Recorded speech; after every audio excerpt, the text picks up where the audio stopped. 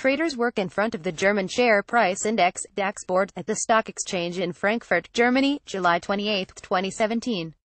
Reuters staff remote July 31, 2017 by Maiya Keidan London Reuters, lack of volatility in financial markets that has hit macro hedge funds in the first half of the year has not stopped some investors from betting that things could get bumpier in the second half.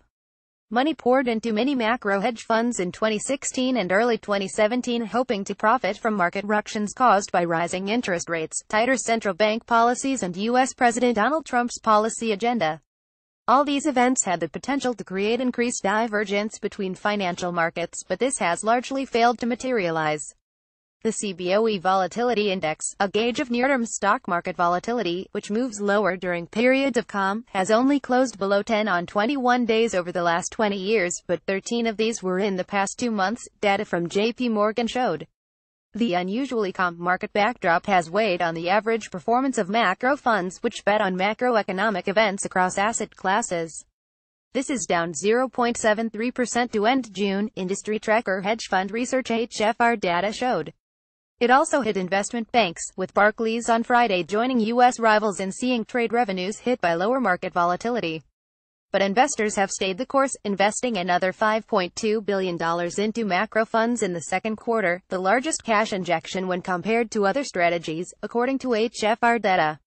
In contrast, equities hedge funds received $3.8 billion from investors while strategies that trade off mergers and acquisitions lost $3.8 billion over the same time period.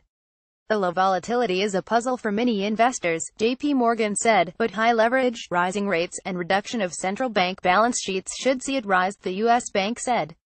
Stephen Coltman, a senior investment manager at Aberdeen Asset Management, said I think if you do start to see some inflation picking up then that would be a big catalyst for volatility to increase in the market and that's something to watch over the next few months.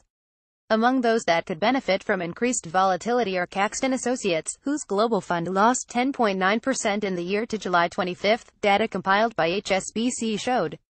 Another is Moore Capital Management's $4.5 billion Macro Managers Fund, down 2.02% to July 20, according to a source close to the firm. In London, Brevan Howard's main fund is down 5.2%, a source with first-hand knowledge of the matter said, while another fund, Markham Rae, lost 10%, both in the first six months of 2017.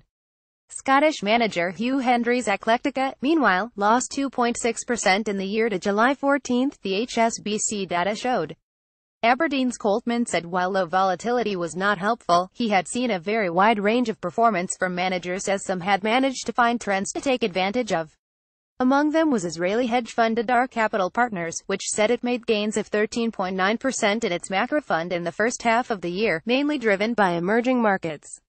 London-based Silver Ridge Asset Management, meanwhile, is up 9.1% in the year to June 30, a source close to the firm said, noting this was because it went against the consensus Trump trade, shorting the U.S. dollar and buying fixed income.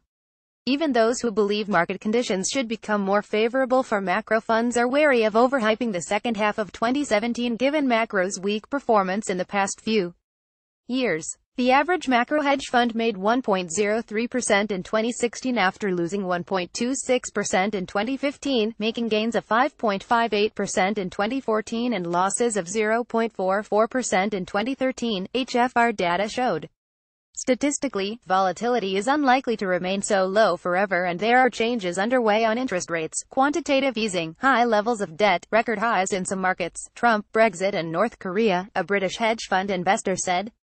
That said, lots of money poured into macro funds last year for many of the same reasons. Cedric Fontenille, director and head of strategies at investment manager Unigestion, which invests $3.6 billion in alternative strategies is remaining cautious.